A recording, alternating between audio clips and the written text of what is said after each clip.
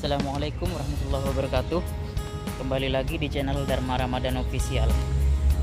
Kali ini aku akan memperlihatkan hasil sinematik Di area masjid Yaitu Masjid Kiarong Yang ada di Brunei Darussalam. Oh ya buat kalian yang belum baru bergabung di channel ini Jangan lupa untuk terus dukung channel ini dengan cara subscribe channel ini dan juga share video ini kepada teman-teman kalian agar teman-teman kalian juga tahu apa yang kita tahu. Oke, kita lanjutkan untuk menerbangkan drone. Buat kalian yang penasaran dengan video ini, simak terus videonya sampai habis, oke?